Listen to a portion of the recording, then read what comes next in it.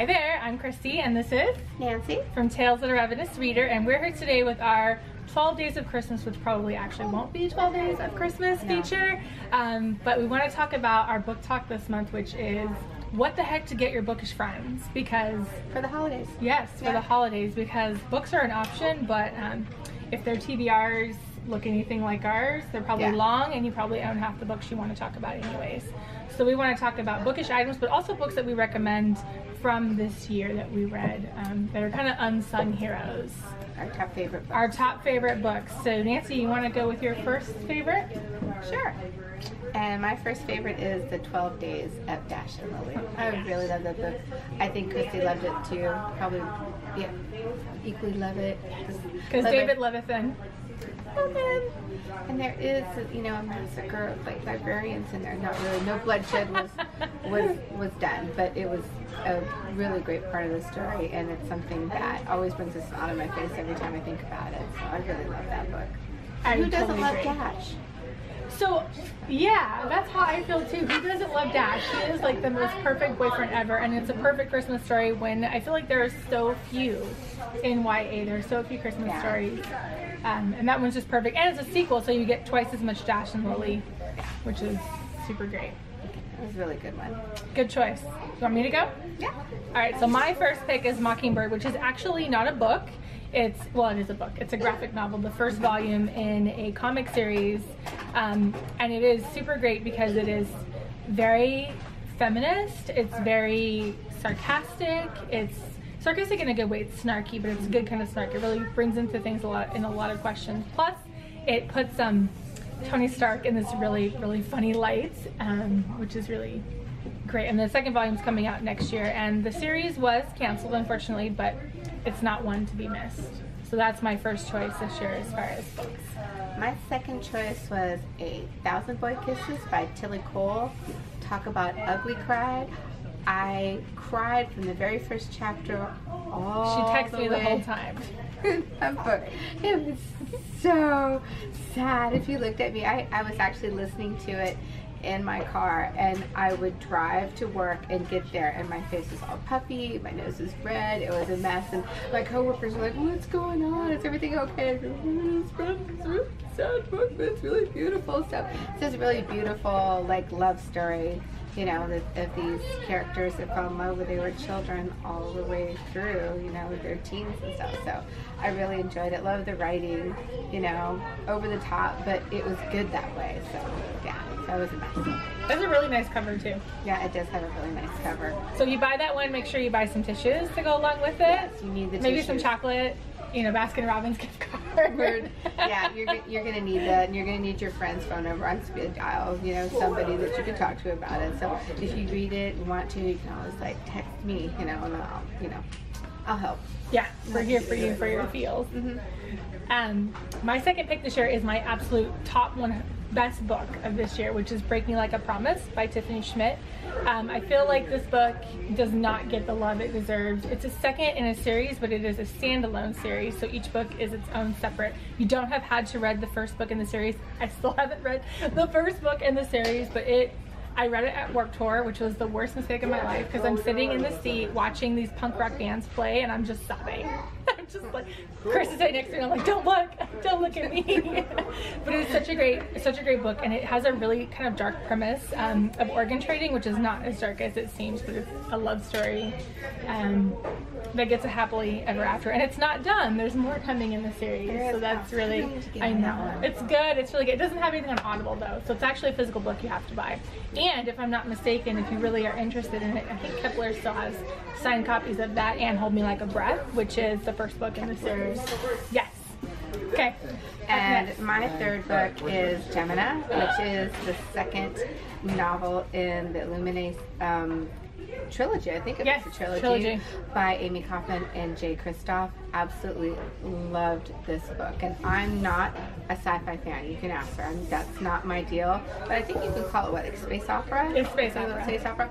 Loved it. Absolutely loved it. Again, it's something that I listened to on Audible, and there were moments in my car that they were like shaking. It's like it's a full cast audio, and have sound effects and everything. And so, if you love listening to books, that that would be the best kind of introduction into, you know, um, audiobooks that I can recommend. Really great story. I've heard too that some people think it could be treated as a standalone. It can. Um, I mean, I so I have I read Illuminae, Yeah. but I feel like it stands alone in itself, and you really can kind of get the gist of what's happening. So we'll see how that continues into the third book. Yeah. Um, and Yeah. hopefully we find out who security footage guy is. Who will? They said that we're going to find out who it is, and Yeah. that we may or may not have already met him. Yeah. So we'll see how and that so, goes. Yeah, so the first one, you always wanted to know what was going on with the Gemina ship Right. that they were trying to get a hold. right? Yeah, that they were trying to get a hold of, and they were trying to, but they couldn't. So this kind of gives you all the explanation why things, why they couldn't establish contact what was going down, which is good. Right, exactly. My third book that I absolutely love recommending, and it's the one book I said I was going to buy for Christmas for people, and I absolutely have, is Outrun the Moon by Stacey Lee.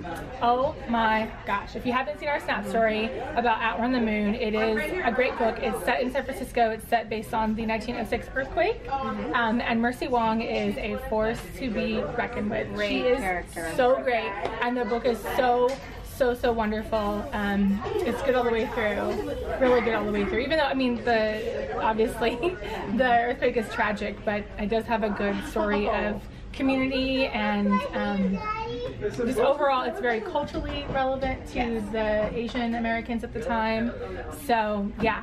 Definitely recommend Outrun the Moon to everybody, anybody. And of course, if you're looking to get more than one book, you can always pick up Under a Painted Sky, which is also historical fiction from Stacey Lee.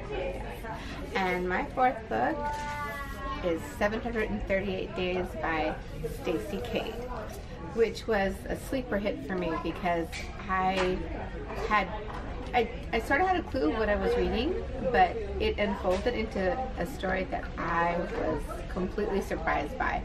Um, story about a girl who was kidnapped and um, rescued, and the only thing that kept her going through the time that she was abducted was this poster of this TV star that she, you know, would like channel all her energy into and trying to like figure out if she could get out of there. It was because that person was giving her the strength to do so.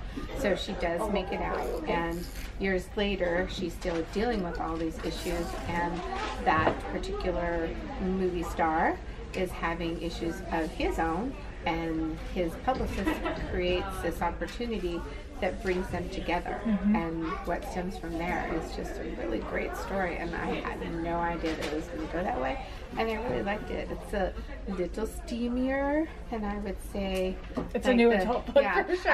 I would, I would say that it was new adult and not so much as um, young adult. Yeah, it definitely is way steamier than what the normal YA is nowadays, but And it's good on, on audio too. It's got dual narration, which just, Yeah. you put anything in dual narration, I'll probably listen to Really it. good. It's really yeah. good.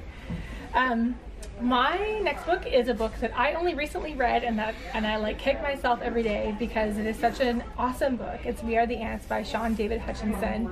We had the chance to see him at the Bay Area Book Festival this year, and I was as I heard about heard him talk about his book is a book based on the cover, which I'm totally the person that picks up books based on covers. Um, I would not have picked up, but it is a sci-fi light contemporary story about a kid who believes he is abducted by aliens. It's up to you whether you want to believe him along that, with that. Um, and he has the opportunity to push a button and save the world. And he is going through his own mental health crisis and doesn't know whether the world is actually worth saving. So it's his story of coming out on the other side of that. It is an own voices book. Um, it's a it's a book based on gay characters. It's absolutely wonderful, um, and the audio is also wonderful on it. I'm so so so glad I read it. Um, so thank you YA Wednesdays for forcing that one upon me because I probably wouldn't have picked it up until way too late otherwise. And my last choice is Revenge in the Wild by Michelle Modesto. I love that book. Loved it. I can't even begin to tell you how much I love that book because it's like talking about every single genre that you could think of and throwing it into this mosh pit and coming out with this really great book. It has cannibals in it, and vampires, and werewolves, shamans, chupacabras. The girl has a Chupacabra. She has a pet chupacabra for a chupacabra. pet. I mean, how could you not love it? And it, you would think that that'd be too much crazy, too much stuff that's thrown into a story, but it all works out so well. And there's steampunk elements and everything in it, and yeah, they're yeah, It's one of, uh, one of my absolute favorites. I think it's like my top read for this year because it completely, like, I, I couldn't get enough of it and I want so much more of that world. And I wish we could. But, It's a standalone. Yeah, so unfortunately, unfortunately. that's uh, how it works. Yeah. Um, my last pick is not one book, but many books. It's actually a whole world created by Gwenda Bond. The- I know, I know. It's the Cirque American World, um, which is two books so far: Girl in the Wire and Girl in the Shadows. They are standalone books in a series. Same characters in both, but you get a little taste, and you don't have had to read one or the other. Plus her graphic novel, which is um, Cirque American, and it's it's co-written with Kate Leck, who I absolutely adore, and the art is by Ming Doyle, and it is absolutely gorgeous. Um, if I'm not mistaken, I think you can get all of them on Kindle for under ten dollars, or at least you could a few days ago, which is an incredible deal for all those books. Um, it is not something I would normally read. It is magical. It is set in a circus world. It is it's just something totally outside the norm for me and I could not get enough and I hope she's writing more because I loved it so much and I'm pretty sure I melted all over her when we were at, when I was at YALLFest a few weeks ago and I was like oh my god she was like you weren't kidding when you said you were bringing everything I've written like She- I did She, that was her number one person to see Yes. why she was there. So Yes. she could not wait. and I want to pass that on to everybody else. I know we've done giveaways for her books. I even bid on her We Need Diverse Books is doing mm-hmm. a lot, and I bid on the lot even though I own all her books signed already. But I'm like, I want to give them to somebody else if nobody else bids on which I, I hope that they do. So, in addition to books, we want to share some of our favorite bookish items Yep. That we have. So, Nancy, you want to share your first bookish item? This These are things we want you to give to people. A highly coveted item that many people really want, but I was lucky one day and got onto it my Etsy account. and Oh my god, this is the first time I'm seeing it in person. It's a book bow. See it? And look, so looked, it's made of beautiful material. It's nice and stiff, so it can hold your book in there pretty well. Um, I've tested it out, and I was showing her last night. It She's sending me all these videos. It's Look so at great. this! At this! Could fit in here. So if you have, it could fit a soft cover book like up to like 400 to maybe 30 or so pages in here that you could fit a soft cover book in there pretty good up the trade paperback size now if you have a hardcover book that is on that trade paperback size you could fit it up to like 400 pages maybe a little less and you could fit in there quite comfortably where you can put the book in and out and get it with with um, ease a little bit more than that might not fit in there so well but otherwise these look like really great and you could just throw it in your bag and saves your your book from getting all crumply and stuff. So yeah, they're very beautiful. There's all kinds of designs Yeah. in their app. Uh, you have to follow the Etsy shop and get notifications if you want to get one because they go within seconds. Yeah. I've like seen them go and I'm like, it's in my cart and it's like, whoop, nope, there it goes. It's gone. So- Because they're so beautifully made and their Yeah. the quality is so consistent. Yeah, so. yeah. So very nicely made. So very highly coveted, and I think people would love it. So if you get, if you're able to get one, I bet your fish friends love it. And put a book inside. There you go. Get wrap it in a bow. It's good to go. Done. That's awesome. All right, let's see what I got back here. Uh, first thing I brought is a mug. This is one example of hundreds and hundreds and hundreds of mugs that are on um, Society 6, Redbubble, pretty much anywhere where you can get Yeah. cu- people's custom shops. This one is by Evie SEO. Um, it's the Illuminae Merciful design. I absolutely love it. It is not the standard size mug, which is great because um, I, I like Yeah. more coffee and cocoa Yeah. than in a standard size mug. So this one is absolutely perfect. I love this mug and I highly recommend. She has her designs in pretty much everything. Tote bags, pillowcases, iPad cases, Yeah. Stickers. I had some of her stickers. I have a sticker on my window from her. So she has pretty much everything. But I highly recommend Yeah. the mug. It's really well made. It's beautiful stuff. So one of my other obsessions is candles.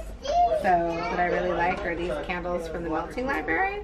This one is for the night court because I am a big fan of Sarah Jane Maas and her court series. So this one's this one says it's jasmine, salted breezes, rain, and citrus. Does it actually smell that way? I don't know, does it smell like that? Oh my god, it totally does.